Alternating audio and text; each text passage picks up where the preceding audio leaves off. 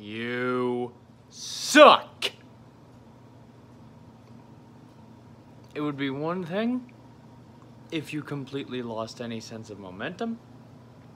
It would be another thing if you were underdogs who had absolutely nothing to prove. But neither are the case. You just plain lost control of a series that you had absolute autonomy over, lost three games in a row, and completely ran out of gas despite being the favorites to win an NBA championship. And, despite being in the league for over 50 years, you have still yet to make it to the conference finals. How the fuck is that even possible? That is unprecedented levels of failure. And you may think, oh, well, where's the legacy of failure? I already made one, bitch.